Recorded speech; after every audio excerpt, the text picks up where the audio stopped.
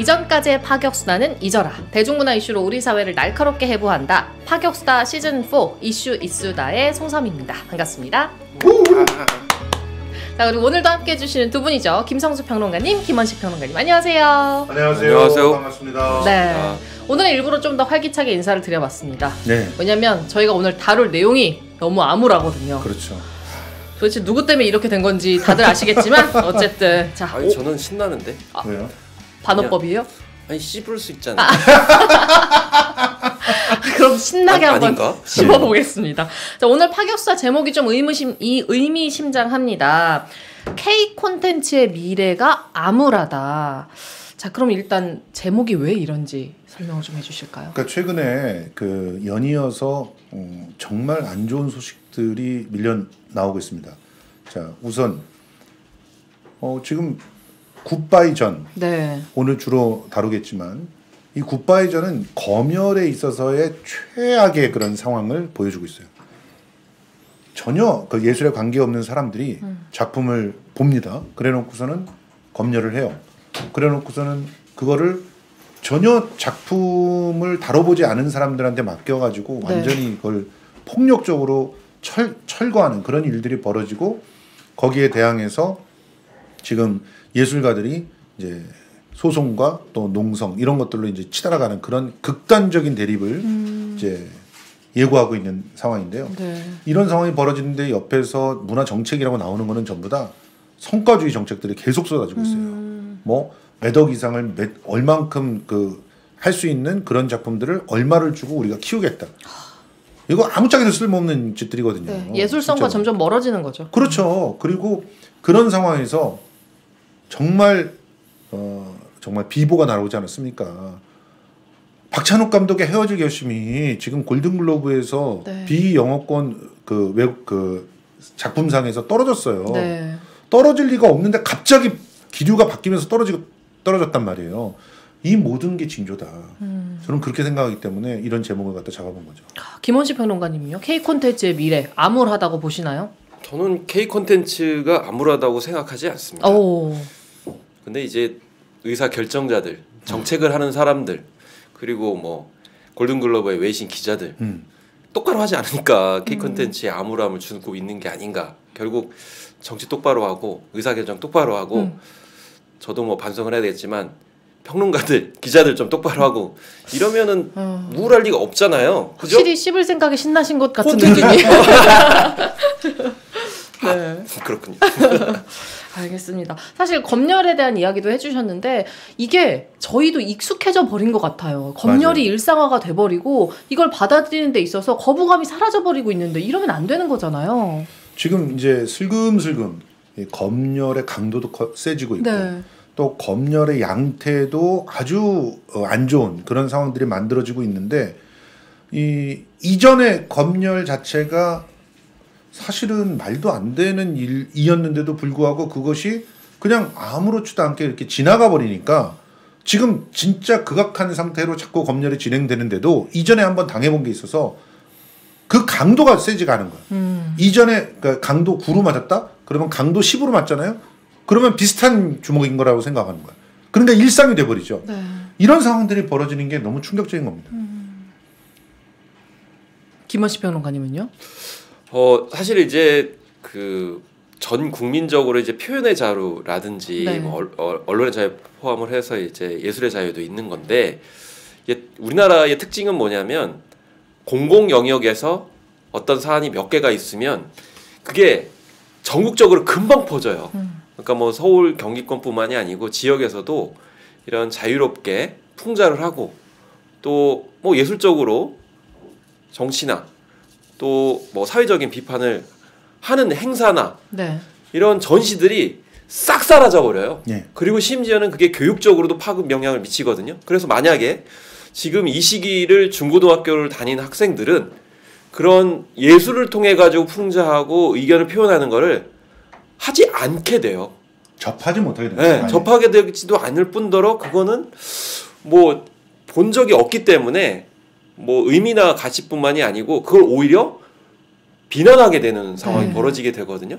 부천에서도 카툰 그 논란이 있었는데 사실 그런 정말 훌륭한 카툰 작품을 만들 수 있었던 것은 문재인 정부에서 그런 것들을 청소년기를 보냈기 때문에 그렇죠. 그 정도 수준의 작품이 나왔고 그리고 청소년기에 그런 것을 경험한 친구들이 또 사회 진출해 가지고 또 남다른 뭐 예를 들면 봉준호 감독 같은 뭐 시사 만화를 그리면서 영화 학도를 꿈꾸고 이게 자연스럽게 연결이 되게 되는데 그래서 이거는 몇 가지 사안이 단순히 정치권에 머무는 게 아니고 말씀드린 대로 K 컨텐츠와 연결이 되기 때문에 이제 네. 그런 부분을 강조하신 거죠.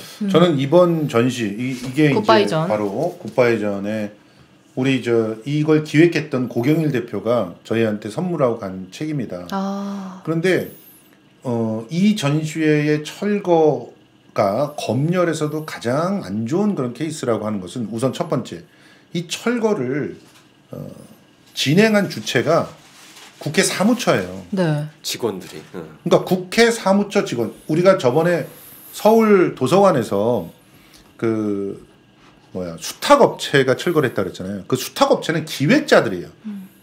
그나마 그런 전시를 기획한 사람이 철거를 하는 것과 그 다음에 이렇게 어, 이번 굿바이전 같이 그냥 국회 사무처에서 통보를 하고 철거하는 것과는 질적으로 차이가 있어요. 왜냐하면 작품을 어떻게 다뤄야 되는지를 모르는 거란 말이죠. 자, 그러니까 어떤 일들 벌어지는지 아십니까? 철거를 할 때 그 노동자를 그 비정규직 노동자를 갖다가 시켜요. 청소 노동자를. 그래서 철거를 하라고 시키는 거야. 그러면 작품을 어떻게 들어야 될지 어떻게 만져야 될지 이게 중요하지 않잖아요. 그래서 아크릴 물감으로 바로 전시하기 하루 전까지 수정을 했던 작품을 그냥 손으로 이렇게 이렇게 잡아버린 거예요. 다 훼손이 된 거죠. 네. 그리고 이제 요즘에는 설치 미술들이 굉장히 중요하잖아요. 그래서 벽을 중심으로 나비들이 이렇게 배치되면 설치 미술이 있었어. 나비를 다 뜯어버린 거예요.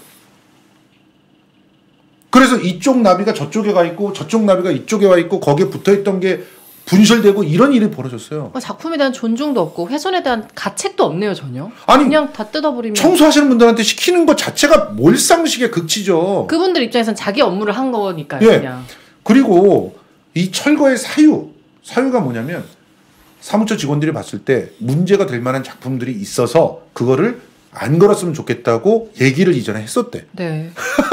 사무처 직원들이 그걸 어떻게 보고 평, 평가를 합니까? 어떤 기준으로 판단을 한 거죠? 그러니까요. 그게 사유가 됩니까? 모두가 총체적인 이런 아주 정말 어, 안 좋은 형태를 다 네. 그대로 보여주고 있는데 내가 이걸 얘기를 할 때마다 하는 얘기가 우리 소녀상이 일본에서 전시됐다가 한번 어, 전시회가 무산된 적 있잖아요. 그때 뭐 극우들이 와가지고 모독을 하고 막 이랬다고 얘기했잖아.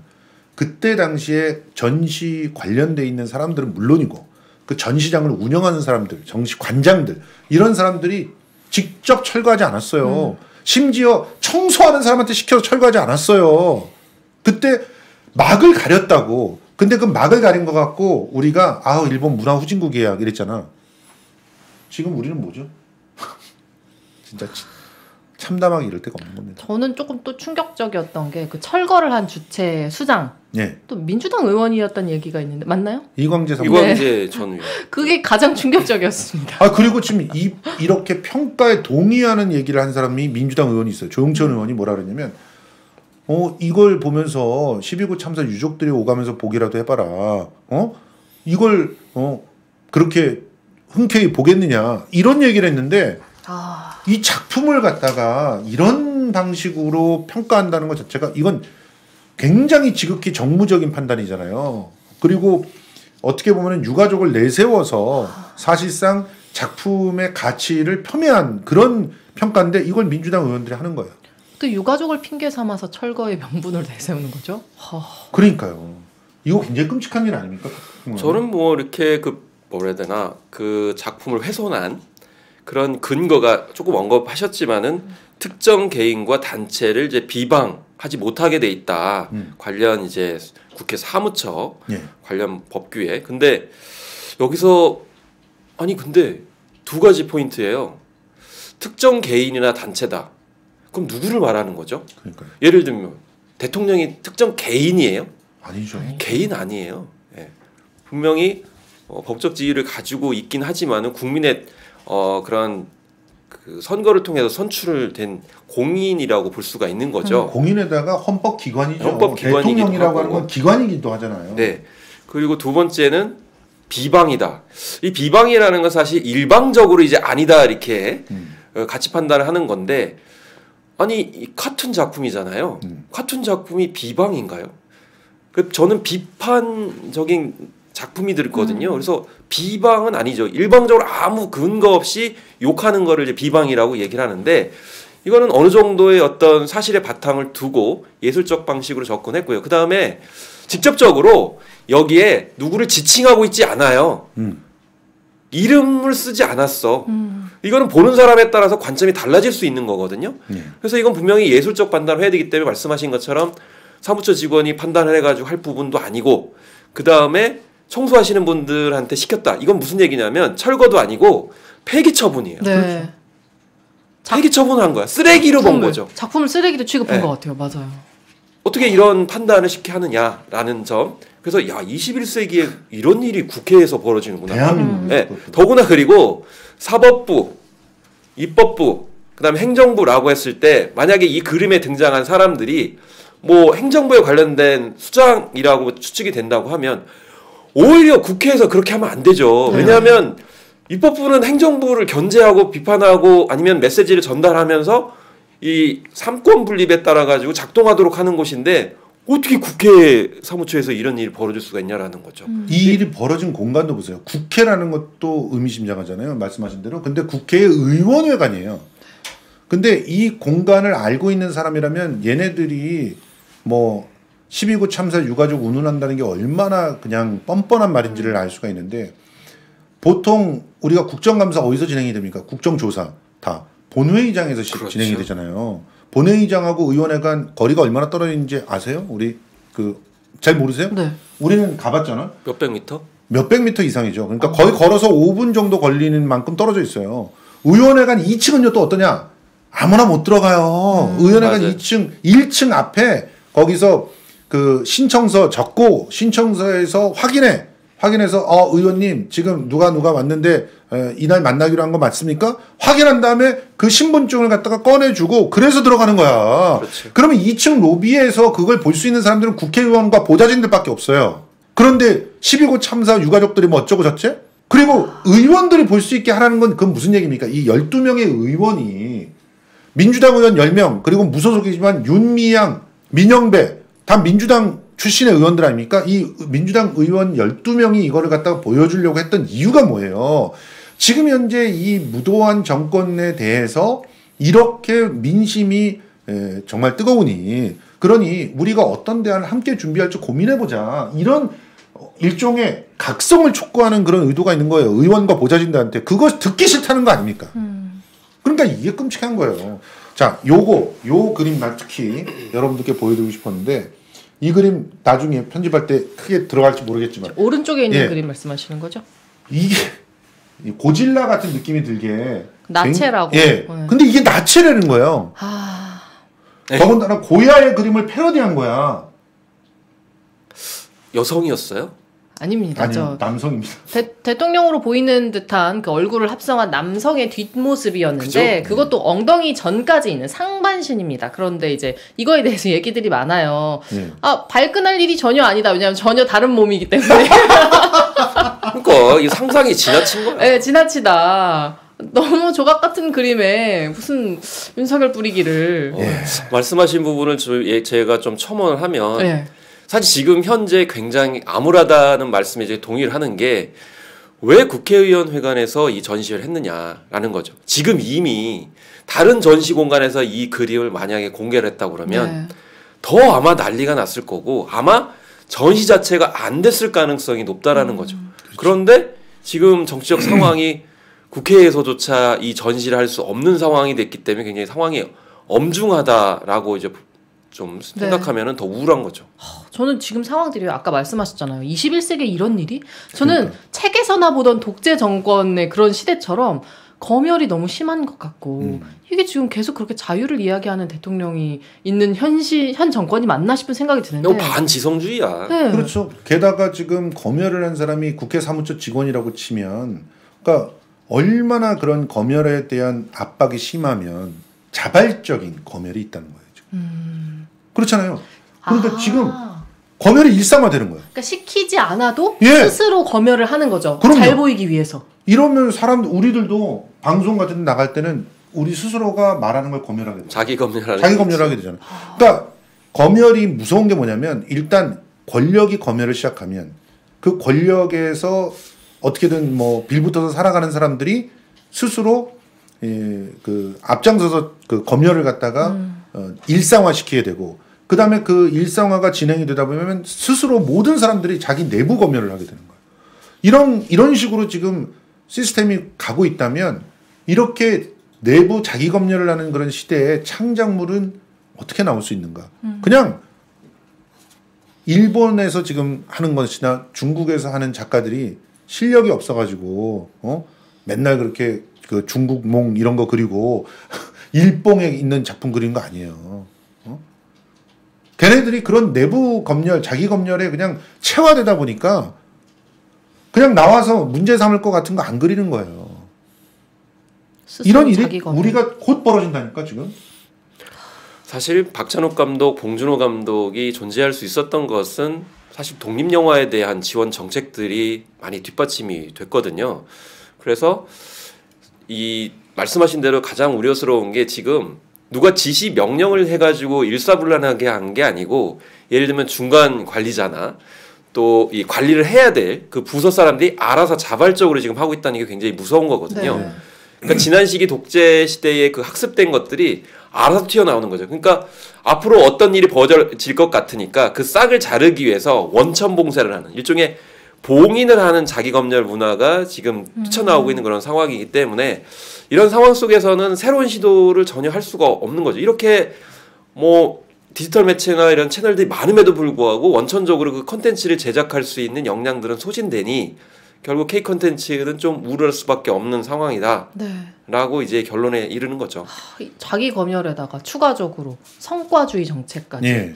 가장 큰 문제는 성과주의 정책이 아닐까 싶은데 그 부분은 어떻게 보세요? 그러니까 이제 검열을 무마하기 위해서는 당근을 줘야 되는 거예요. 네. 그러니까 지원 정책이라고 하는 걸 많이 만듭니다. 실제로요, 지원 정책이 가장 많은 그런 그 정부가 제 기억으로는 문화에 대한 지원 정책이 가장 많았던 건 오히려 이명박 박근혜 정, 정부였어요. 음. 그러니까 단순하게 돈이나 뭐 이런 걸로 지원을 하는 걸 갖다 비교를 해봐도 금전적인 측면에서 지원과 관련돼 있는 거는 오히려 그런 정부가 더 많아요. 왜냐하면 그 정부들이 해 저지르는 그런 문제들이 있으니까 그거를 무마시키고 포장을 해야 되거든요.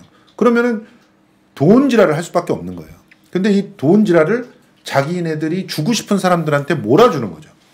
그러니까 예를 들어 뮤지컬에서 뭐 10억대 이상의 돈이 지원이 이 되는 경우 이전 정부에서는 없었습니다. 박근혜 정부가 그걸 해냈어요.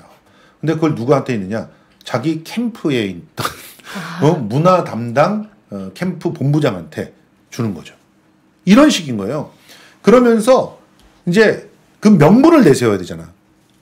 그러니까 성과주의를 갖다 내세우는 거예요. 그렇게 되면은 관객을 얼마나 동원했던가, 뭐 그 사람이 이전에 얼마나 그 대중적으로 성공한 작품을 했던가, 뭐 매출이 얼마나 오른 작품이 있어, 이런 걸 내, 내세우는 거죠. 아. 그렇게 되면 대가들은 살아남아요. 대가들은 권력에 야합해가지고 살아남으면 돼.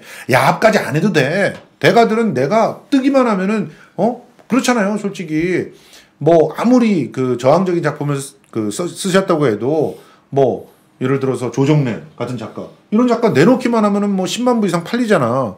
이런 사람한테는 지원금을 줘요. 오히려 그리고 진짜 지원금이 없으면 그 어려운 시기를 견디지 못하는 정말 될성부르지만 앞으로 떡잎이 노랗게 보이는 그들이 보기에 노랗게 보이는 그런 사람들을 죽이는 거예요. 그게 바로 독립영화 단편영화에 대한 지원을 끊는 그런 케이스라고 보시면 되는 겁니다. 저는 성과주의의 폐해 중에 또 하나가 뭐냐면 말도 안 되는 지원금을 주면서 성과를 요구하는 일들. 맞아. 어. 뭐 예를 들면은 최근에 문체부에서 새 시책을 이제 발표했어요. 근데 네. 제가 눈길이 갔던 건 뭐냐면 10억 view를 이루는 웹툰을 만들겠다. 음. 그렇게 해- 했어요. 어 좋죠. 10억 view 나오면 굉장히 좋지 않습니까? 근데 예산이 얼마인지 아세요? 10억이야. 10억 view인데 10억이라고. 네. 말장난하는 거죠. 10억 view에 해당되는 웹툰을 어, 이렇게 나오게 하기 위해서 10억 원을 예, 지원하겠다. 근데 10억 view 넘는 작품 몇 개 안 돼요. 외모 지상주의라든지 예. 미생, 뭐 은밀하게 위대하게. 그래서 굉장히 오랜 동안 연재를 했던 작품. 근데 최근 같은 경우는 3년 동안 주요 플랫폼에서 1위를 했던 웹툰이 예, 3억 view 정도밖에 안 나왔거든요. 그럼 10억 view 만들려면 10억 원 가지고 되겠습니까? 아니 그래서 일단 그러면서 지원해주면서 왜 성과가 안 나오지? 라고 쪼을 가능성이 높아. 아, 그럼 이렇게 누가 고생을 하겠냐. 단순하게 10을 좋아하는 건 누가 자꾸 연상이 되네요. 그러니까 성과주의 사람들은 짜맞추기를 해요. 숫자 네. 노름하고. 이런 것들이 창작자들 혹은 이 지원을 받는 사람들이 굉장히 고통을 받을 가능성이 높다. 왜 이렇게 지원을 해줬는데 성과가 네. 왜 이 모양이야? 체계적인 고민 없이 그냥 보여주기식인 거잖아요. 골 때린 거는 10억이 솔직히 돈입니까 요즘에? 어? 지네들은 27조 들여가지고 아파트 사준 다음에 건설사한테는 근데 문화 특히나 웹툰에 10억 view를 찍은 작가라고 하면은 그 사람이 그 영향력이 어마어마하잖아요. 그리고 그런 작가들이 이제 존재한다는 것은 한 산업 그리고 플랫폼 하나를 갖다 먹여 살리는 그렇지. 그런 작가예요. 킬러 콘텐츠죠. 근데 그런 작가들을 키우기 위해서 10억을 들여가지고 분명히 그럴 거예요. 천만 원씩 뭐 몇 명. 뻔해. 그렇게 소비할 거란 말이에요. 솔직히 제가 어떤 케이스를 알기 때문에 이런 얘기를 하냐면 그 연극을 지원할 때도 그랬어요. 문화의 날을 만들어서 그 문화의 날에 관객들을 갖다가 지원해 주는 돈을 뭐 그때 당시도 얼마나 10억인가 그랬어요. 10억인가 20억인가 이렇게 쓰겠다. 그래갖고 그 10억을 어떻게 쓰느냐? 그 수요일은 무조건 천 원짜리 티켓을 만들라는 거예요. 네. 천 원짜리 티켓을 만들어서 그거 하지 말아야 되잖아. 그렇죠. 강- 천 원에 본 사람이 만 원 내고 보러 오겠냐고 돈을. 절대 안 돼. 오죠. 버릇을 잘못 들이면 큰일이요. 그렇게 해가지고 천 원을 나머지 구천 원 정도를 이제 보존해 주는 것을 100장 하면은 얼마가 돼요? 벌써 90만 원이 되고 천 장 하면 얼마가 됩니까? 900만 원이 되고 이렇게 돼가지고 10억 그냥 금방 써버립니다. 그러면 그 돈이 일 극단에 들어갈 때는 얼마가 됩니까? 푼 돈이 돼요, 진짜. 그래갖고 지들은 10억을 썼대. 이렇게 썼는데 왜 좋은 작품이 안 나오냐? 그런데 오히려 그거 끊어지게 되면 천 원짜리 공연 없어요. 이러고 다니니까 결국은 나중에 어떤 일이 벌어진지 아세요? 자기 사비를. 쿠팡과 티몬에서 아. 천 원짜리 티켓을 팔렸어. 단체를 백석인데 20명짜리 단체가 있다. 백석인데. 백석이 있는 극장에서 20명 단체가 있다? 그럼 80석을 팔아야 되잖아. 네. 천 원에 팔아버리는 거예요. 아, 아이고. 천 원 아니면 안 보니까. 이런 제살 깎기를 강요하는 게 오히려 이런 성과 지상주의적 정책입니다. 이런 거 철저히 그 막아 세워야 되는 거예요. 지원을 해주려면 어디에 지원을 해줘야 되냐면 플랫폼과 토양에다 지원해야 네. 되고 개개인의 지원을 해준다면 그 사람의 삶을 보장해야 되는 거예요. 창작자에게 지원을 해줘야죠. 창작자의 삶을 보장해줘야 음. 되는 거예요. 저희 돈 안. 받을래요. 뭐 저한테 줄 리도 없겠지만. 아 왜냐하면 웹툰 할 때도 거기 직접적으로 지원해 준 거 없었어요. 그냥 음. 문체부 장관 상이라고 해서 문체부 그 이름만 하나 준 거예요. 음. 근데 그거를 더 이상 쓰지 못하겠다 했잖아요. 근데 그 그렇죠. 내용이 어, 그 인물이 뭔가 대통령하고 비슷하다 이렇게 해가지고 예. 그렇게 했잖아요. 그러면 이 10억을 주면서 얼마나 많은 또 간섭을 하겠어요. 뭐 다루지 마라, 뭐 다루지 마라, 특정 개인이나 단체를 비방하지 마라. 그렇게 하면서 간섭할 게 뻔한데 이거 안 받는 게 나을 것 같은데 아, 그렇게 되는 거죠. 근데 절실하게 이 돈이 필요한 작가들이 분명히 많이 있죠. 있다는 거예요. 그러면 이제 길들여지기가 시작되는 거예요. 왜 이렇게 자괴감을 느끼게 하냐라는 거죠. 아, 정책이 어디서부터 잘못된 건지 모르겠는데 결국엔 그 결과물로 오프닝에서도 말씀을 하셨지만 헤어질 결심이 골든글로브 수상을 실패한 것도 그러니까 그 얘기가 어떤 사람들은 비약이라고 얘기를 해요. 음. 그러면서 아유 문화평론가님 너무 비약하시는 거 아니에요? 이런 얘기를 하는데 우리들은 알죠. 우리 평론가들 왜냐 이게 이렇게 되는 겁니다. 헤어질 결심이 지금 사실상 선두였어요. 그리고 시대 정신을 정확하게 꿰뚫고 읽어낸 작품입니다. 인종차별이라고 하는 게 왜 이루어지느냐? 어? 그, 그 사람의 본질을 보지 않고 그 사람의 스펙이나 웹피드를 갖다 보는 거예요. 그것이 마음이 막 쏠려 들어가서 그 사람을 사랑하지 않을 수 없는 상태가 되는데도 불구하고 그 사람은 중국인이야. 어? 그리고 불법 체류자야. 이런 걸 보는 거예요. 그러면 그 사람은 범죄자죠. 범죄자라고 하는 낙인을 찍고 선입견으로 볼 수밖에 없어요. 그리고 그 선입견이라고 하는 건 필히 혐오를 동반합니다. 혐오를 동반하니까 나중에는 그 여자 때문에 내가 인생을 망쳤어. 내가 수사관으로서 쌓아왔던 모든 것들을 갖다 전부 다 저 여자 때문에 잃어버렸어. 나는 지금 여기서 헤어질 결심을 해야 돼. 이런 결론을 내리는 거거든요. 음. 그 부분을 수사극이면서 로맨스에다가 기가 막히게 얹어가지고 미시적인 이야기를 하는 것 같지만 굉장히 거시적인 담론을 갖다가 우리들한테 각성을 시켜주는 그런 작품이 헤어질 결심이에요. 탕웨이라고 하는 사람이 중국인인데 한국 감독과 결혼한 사람이잖아요. 절반이 이제 한국인이 됐어요. 그런데 탕웨이에 대해서 중국인이라고 얘기하면은 중국을 갖다가 공격하는 사람들이 뭐라고 할까요?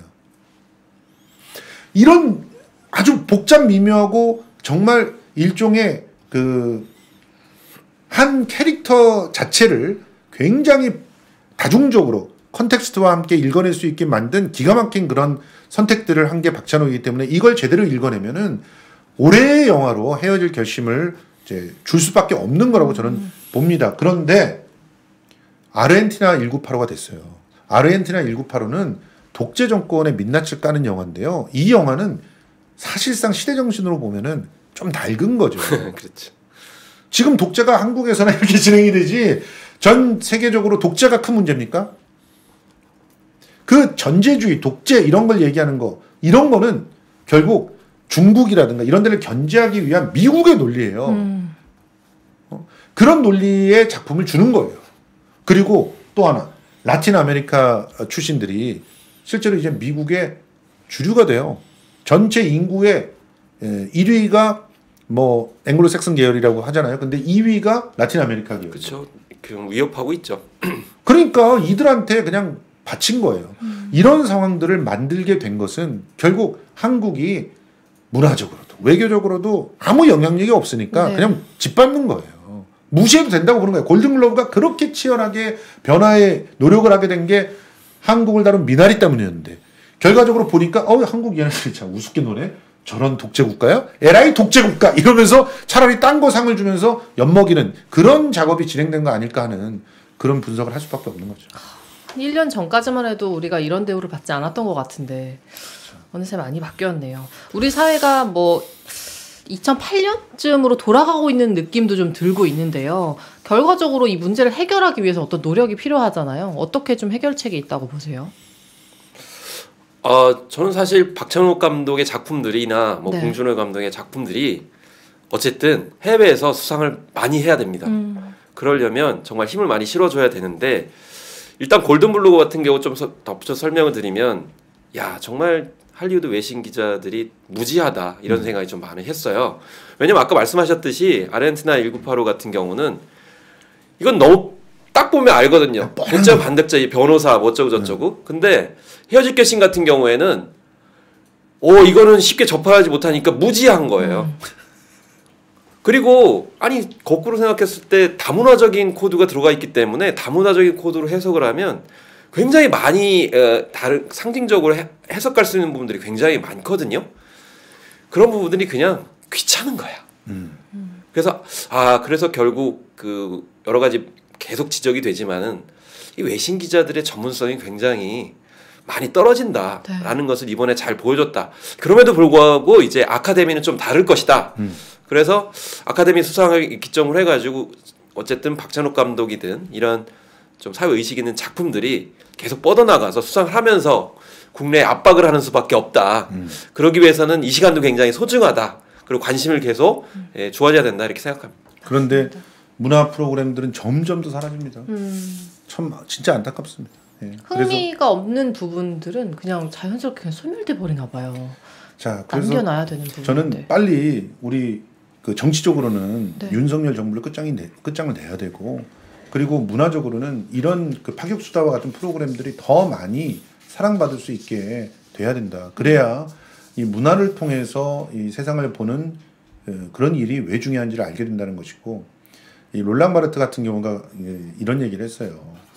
어떤 컨텐츠 같은데 우리가 당연하게 받아들인 표현들이 있는데 거기에 이데올로기가 있다. 음. 그 이데올로기를 봐야 된다는 거거든요. 헤어질 결심이 탁월한 거는 당연해 보이는 그런 것들을 뒤통수를 치고 있는 작품이거든요. 시종일관. 거기에 이데올로기에 대한 저항이 있는 거거든요.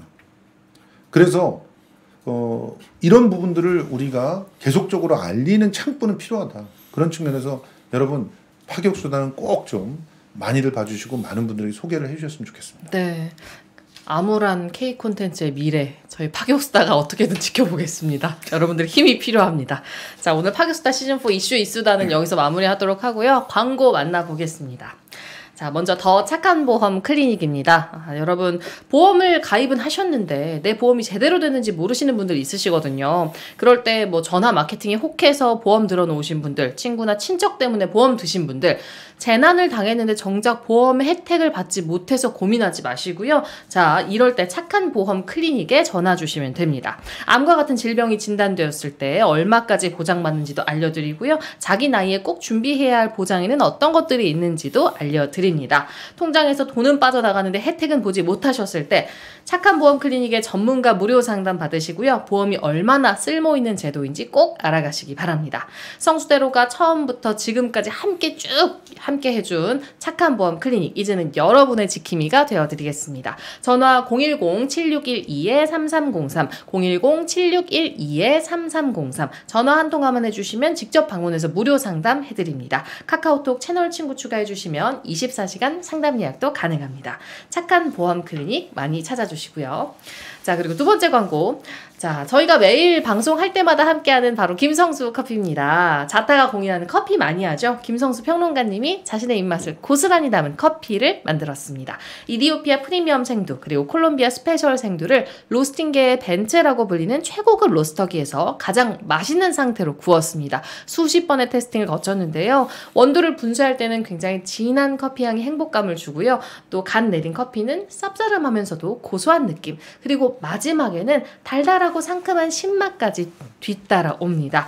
드립백 세트 한 박스에 10봉 들어있는 드립백 세트가 3박스가 전단과 함께 배송이 되는데요. 39,000원에 만나보실 수 있고요. 원두 세트는 36,000원에 배송료 3,300원이 별도입니다. 하지만 두 세트 이상 구매하시면 배송료도 무료입니다. 010-8304-2124로 문자 예약 주시기 바랍니다. 혹시 김성수 커피 성수 전방에서도 만나볼 수 있나요? 아직은 좀 아. 힘들지만 이제 조만간 그 런칭을 하도록 하겠습니다. 일단 성수 전방에는요. 어, 새 선물, 설날 선물 지금 마련하시기 바랍니다. 아, 여러분 성수대로를 사랑해주신 여러분들의 힘이 필요합니다. 성수 전빵이 또 새롭게 론칭을 했기 때문에 성수 전빵에서 설 선물 정말 저렴하고 예. 좋은 제품들 많이 준비되어 있더라고요. 예. 깜짝 놀랐습니다. 거의 한 번만 들어가셔서 마음에 드는 제품이 있는지 한번 픽 하시기 바랍니다. 자 파격스타 시즌 4 이슈 이수다 여기서 마치겠습니다. 다음 주에 뵐게요. 감사합니다. 감사합니다. 감사합니다.